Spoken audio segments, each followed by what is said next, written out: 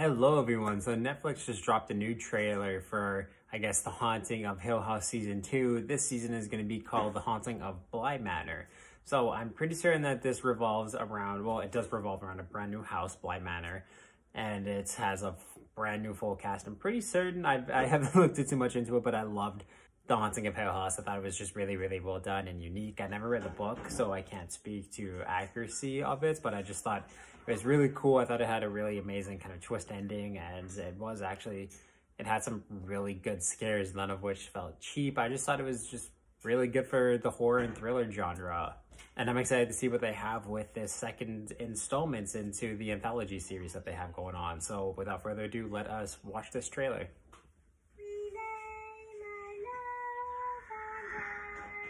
I have a story.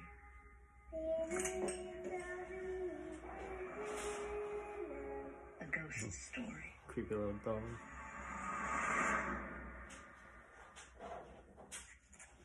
Ooh.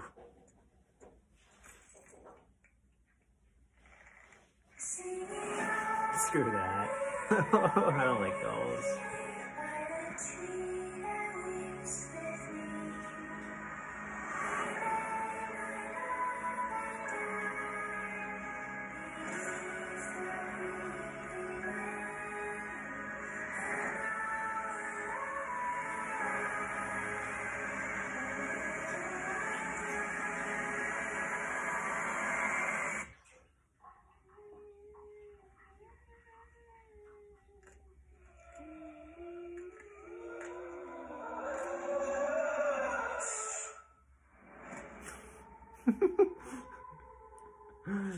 Brave girl.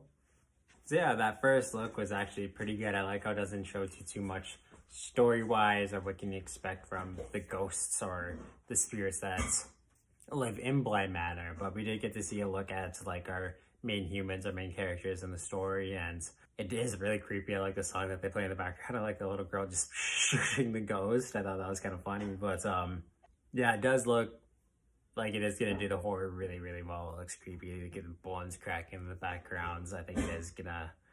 I one thing that I really like is just I'm fascinated by the concept of um, the doll houses illustrating the humans trapped inside a house. Um, kind of like how they do in Hereditary. I know there's some like you don't see dollhouse imagery or like an actual dollhouse in Parasites, but there's a lot just the way that set was created to make the characters kind of seem trapped within like a dollhouse and just really have the house be a character on its own. I just, I'm fascinated with that concept and I think that they could do a really cool job with that.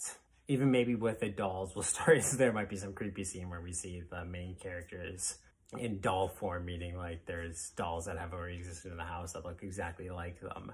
They like the house predicted that they would come. I don't know. I'm excited to see more from this though. It was, like I said, creepy and I am excited to watch it and see what they have in store for us for this um, new entry into the anthology series. But yes, let me know what you guys thought about a first look at The Haunting of Bly Manor what you're most excited to see come this season when it comes out on October 9th. That's pretty quick, so I'm excited for that.